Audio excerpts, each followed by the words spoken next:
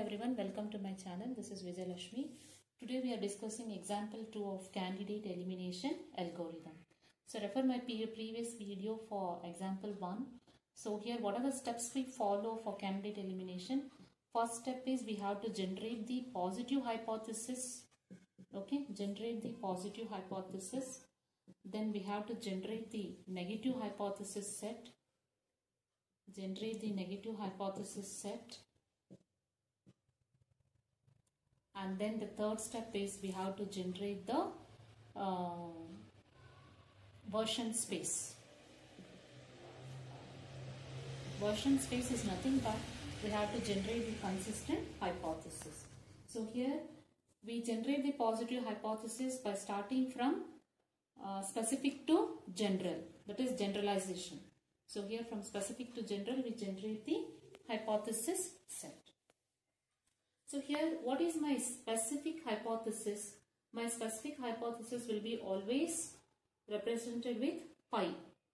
And how many attributes given this sample data set? This sample data set has to predict that the given patient is a COVID positive patient or a negative patient. So here a set of attributes given are fever, cough, throat, throat pain and body pain. And if the patient has all these symptoms, it is positive and if he doesn't have uh, fever and uh, and he has cough and no throat pain and body pain means it is a negative instance so here while generating this uh, specific general hypothesis we have to take only the positive instances into consideration. So our output variable y equal to f of x this is what our dependent variable y. So it is dependent on all these independent variables. That is fever cough throat pain and the body pain. Based on these inputs we have to the model has to predict that whether the person is affected by by uh, covid or not. Okay? So then what is the hypothesis has to be generated and how the model has to learn? The model will be learned with the help of this generalization and specialization technique itself. So now we'll start our first step that is i am going to generate the version space so first I am going to generate my specific hypothesis at the top and then I am going to generate my general, general hypothesis from the bottom and in the middle I am going to combine both uh, this uh, S4 and uh, this specific and general hypothesis set and come up with a set of consistent hypothesis set. So that's what the derivation tree of the version space what do we say. So now we'll start here so first step is we have to generate the uh, positive hypothesis set here. So that is the set S we have to generate. So now since we have four attributes here, so I am writing four pi symbols here. Okay guys. So I am starting from my specific one. Specific will not match anything. So anything it is uh, there, it will not match any nothing. That is the meaning here. Okay. Now my S1. What will be my specific hypothesis 1?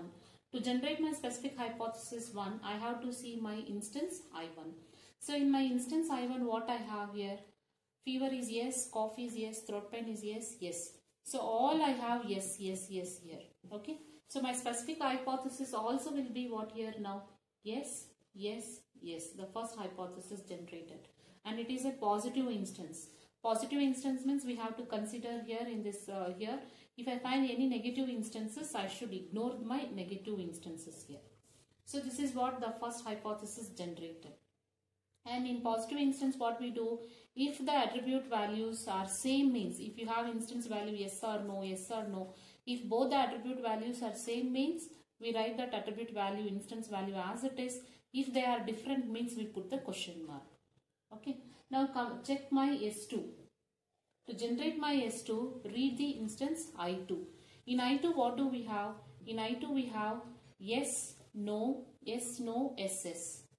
So you have yes, no, SS. Now compare this instance I2 with my S2.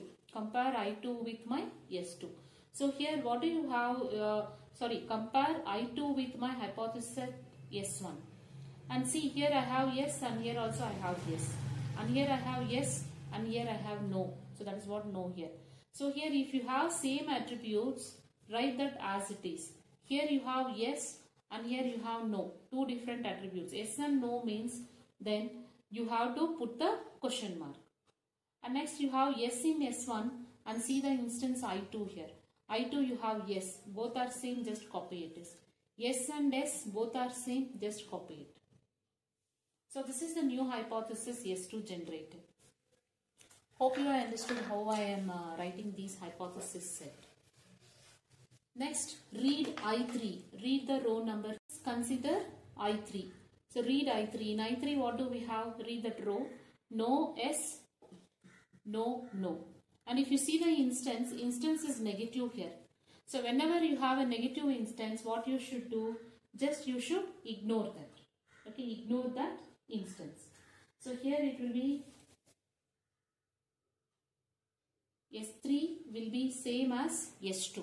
Okay, whatever we have for S2, copy it same as for S3 since we have a negative instance. So it is Y question mark Y Y. Next read I4 row 4. So in I4 what you have? Yes, yes, yes, no. Now compare this with my S3. I have to generate now S4. To generate S4 I have to see I4 with S3. Here also I have yes and S. So we can't do anything just write it as it is. Here question mark and S put question mark. Okay. Then you have yes and S here and here the last attribute is no and here also you have yes. So put question mark. Okay guys. So this is my S4 generated and it is positive. So since it is positive I need not ignore anything just whatever uh, it is there I have to take and I have to compare with my S3 and I have to generate my S4. Now next instance if you see S5. Now S5 we have read I5 but I5 is what? It is a negative instance. You have no, no, no, Y and the instance is what? Negative. Negative means what? Negative instance means we have to ignore. Whatever we have S4, the same only will be even for S5. So my S5 will be same as S4 since I have a negative instance. So copy that Y question mark Y question mark. So this is our S4 generated, the new hypothesis. So just put one square boxes like this so that it looks better. To separate the hypothesis. Since I don't have a space, I am writing like this. Since you may be having space, just you can write neatly. Okay. So this is about uh, generating the positive hypothesis. The second step is what we have to generate the negative hypothesis. So to generate the negative hypothesis, I am going to start with my general hypothesis set from the bottom. Okay. So general hypothesis set, how do we write? So since we have four attributes, we put four question marks to represent the general hypothesis set. Next, I have to generate the G1. So in general hypothesis, what we'll do, here we have to consider even the negative instances. For negative instances also, we have to generate the hypothesis. But in the previous case, what we did, we ignored all the negative instances. But now we should not ignore, we have to consider them. And for them also, we have to generate the hypothesis set. So here, my G1. Now read my instance I1 to generate G1. So we know that G will match anything here. Anything is there, it, uh, question mark means it can be anything, it will accept. So what is our G1? We have Y, read I1. Y, Y, Y. Okay. So my G1 will be same as G itself. So this hypothesis itself will match for G1 also. Okay. Next I have to generate my G2 hypothesis. Now how to generate my G2 hypothesis here? To generate G2, I have to see my G1 and also you see here it is positive instance. So if you have a positive instance, you need not worry about anything. You can uh, easily generate the hypothesis set there.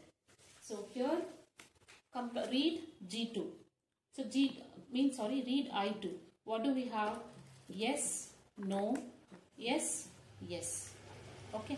Now compare this yes, no, SS I2 with this G1 as well as see the I1. So here also I have yes and here also I have yes. Both are yes, yes here. This is I1 and I2 to generate G2. To check for this hypothesis I have to see both G1 and G2. Both are yes here. So I need not change anything. But here I have yes and no here. One attribute is yes, another attribute is no. So put question mark. And here you have yes and s. So put S itself and here also you have S and S. It is S itself. So this is the uh, G2 hypothesis generated. So here what is our uh, G2 is? G2 is same we got here G2 is yes question mark yes yes okay now since it is a positive hypothesis next we'll see our H, uh, read I3 next so what is our I3 now now read I3 in I3 we have no S no no no S, no, no. And also the instance is what here? Negative instance. So here I'll rub this one. So let me rub this one also so that we can solve here.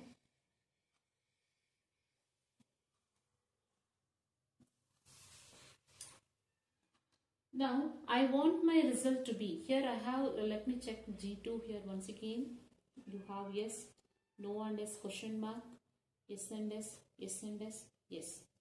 Yes, our uh, hypothesis is correct now. Next, when I see for G3, to generate G3, you see I3 now and compare with here. And also I have here what negative instance. For this negative instance also I have to generate the hypothesis.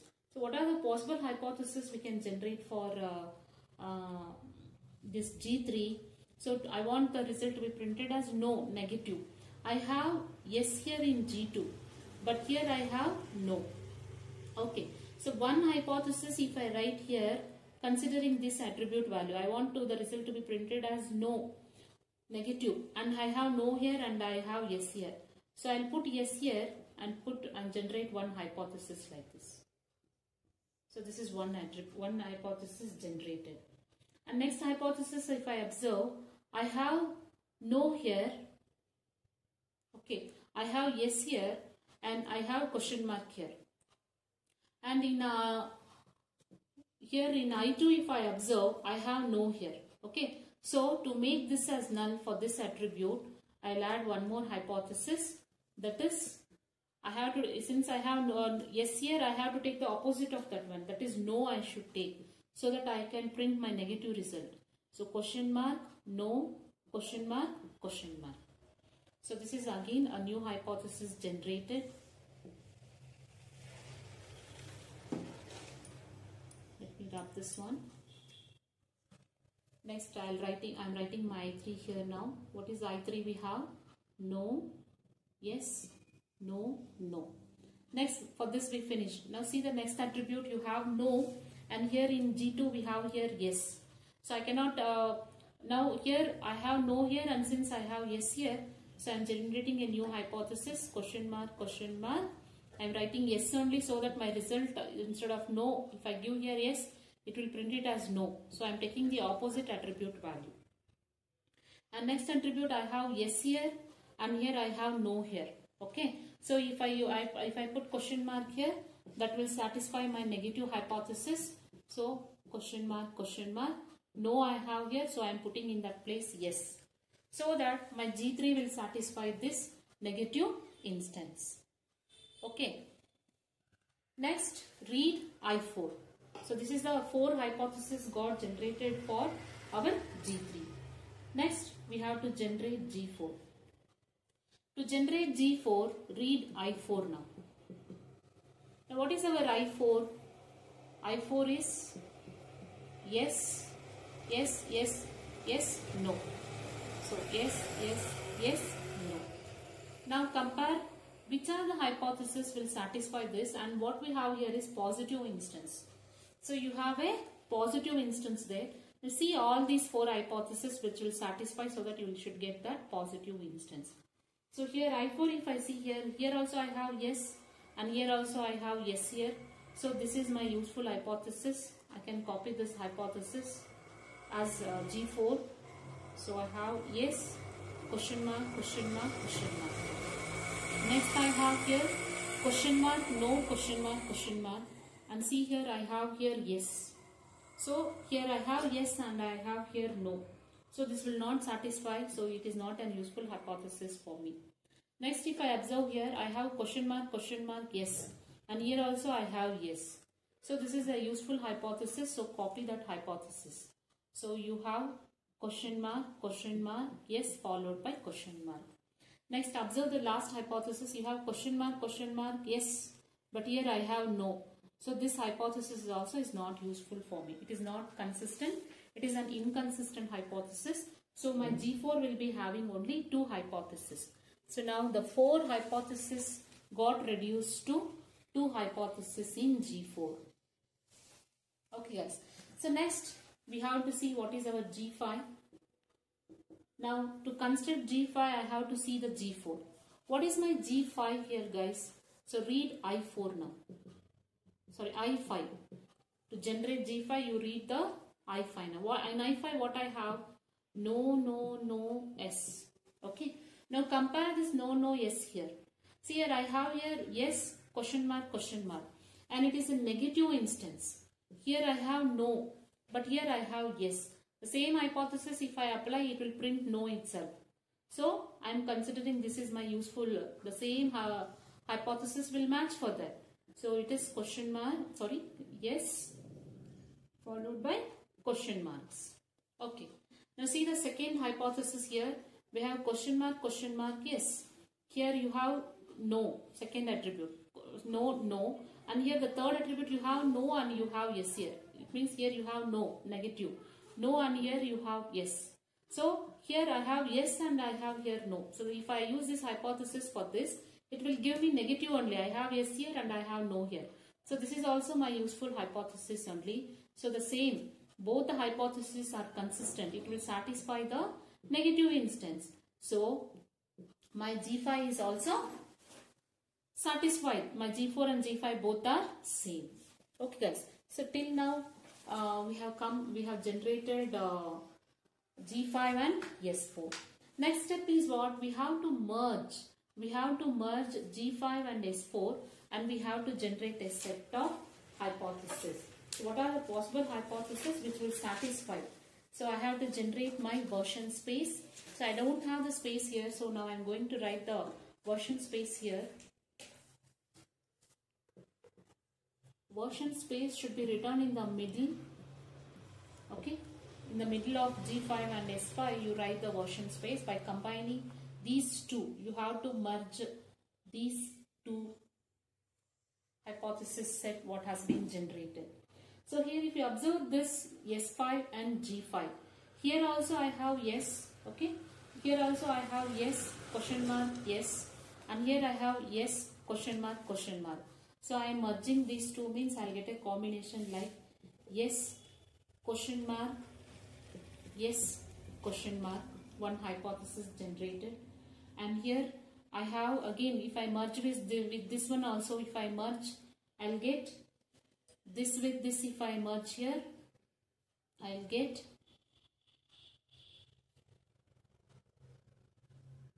question mark question mark question mark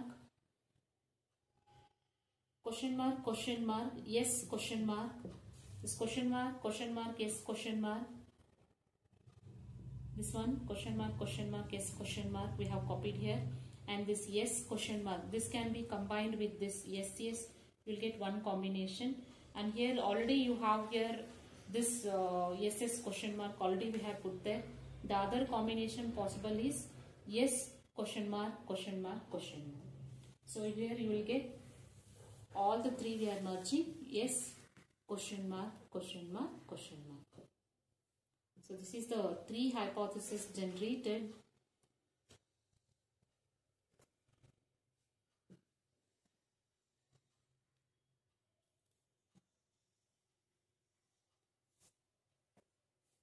Okay, so this is the version space. So we combined both S5 and G5. So you will get the same combinations only. We can't, if you're merging also, see, you'll get the same, all the three only. You have yes here and also you also have yes here. So these two remain same. And here also you have yes and here also you have yes. So you'll get all these three. So this is the set of consistent hypothesis generated. So totally we have three hypotheses. Consistent hypothesis version space has been generated. So hope you have understood. Please don't forget to subscribe, like and uh, share my channel. Please uh, click the subscribe button and bell button so that for further videos you will get a notification. Thank you.